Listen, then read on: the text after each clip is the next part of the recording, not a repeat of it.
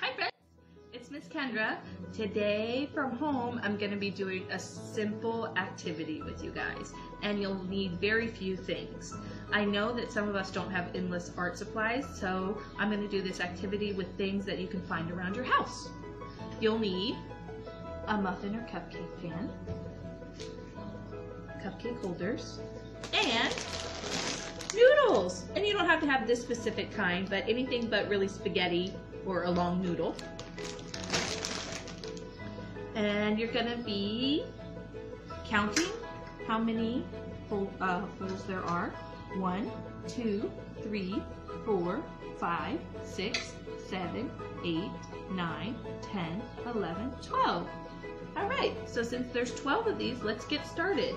You'll need 12 of these cupcake holders and you're gonna take one of these and fill up each hole. One, two, three, four, five, six, seven, eight, nine, ten, eleven, twelve. All right, and now that these are all in here, then you'll go ahead and take your pen and label them. 1 through 12. And if you know how to write your numbers, go ahead and practice writing your numbers. If you need help, then ask someone to help you. Maybe a sibling or mom and dad or whoever you're home with. And after they're labeled 1 through 12, then that's when you'll need your pasta. And it's going to be a counting game.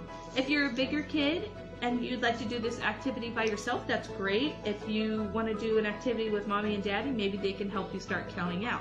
So we're going to start with number one. So how many pastas will we take to put in our cupcake tray? One. And what's after one? Two. So we're going to count out two pastas. One, two. And after two is three. So we count out three pastas. One, two, three. And after three, we have four. Let's count those out together too. One, two, three, four. What comes after four, friends? That's right, five. Let's count out five. One, two, three, four, five pastas. And after five comes six. One, two, three, four, five, six. What comes after six? Seven. And if you need more pasta, go back to your pasta pile and grab more pasta. One, two, three, four, five, six, seven. What's after seven? Eight. One, two, three, four, five, six, seven, eight. All right, and what comes after eight? Nine. One, two, three, four, five, six, seven, eight, nine. After nine, ten.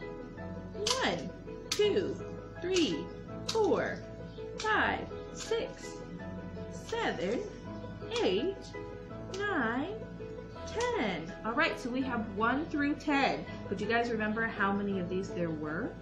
12. 1, 2, 3, 4, 5, 6, 7, 8, 9, 10. And after 10 is 11.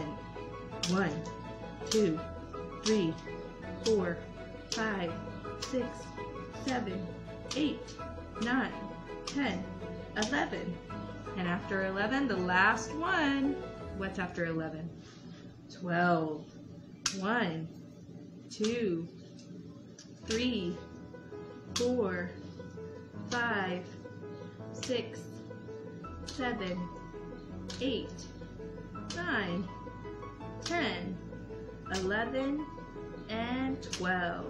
All right, friends, look at my tray. I have all the way of pastas 1 through 12. So that was an easy counting game with you guys with simple tools from home. You'll just need your cupcake tray, your cupcake holders, a pen, and some pasta. And you can do all kinds of different activities like this. It doesn't just have to be pastas. you could do the alphabet on them, and on each pasta you could write the letter of the alphabet starting A through Z, and then you just match them together. So the first one would be A, and you find the A pasta and put it in your A cup, and B, and you find the B pasta and put it in your B cup. You could also do another version of colors. Um, so you would get your marker set or your color pencils or your crayons out, and you would put each specific color inside the cup. And then you would take your little marker and color each pasta one of those colors, mix them all together, and then when you're done, look for each color. So say the first one would be orange. You're gonna find your orange, pasta and put it in there. Say the next one was blue. You're gonna find your blue pasta and put it in there. And then the next one would be green. Green pasta, put it in there.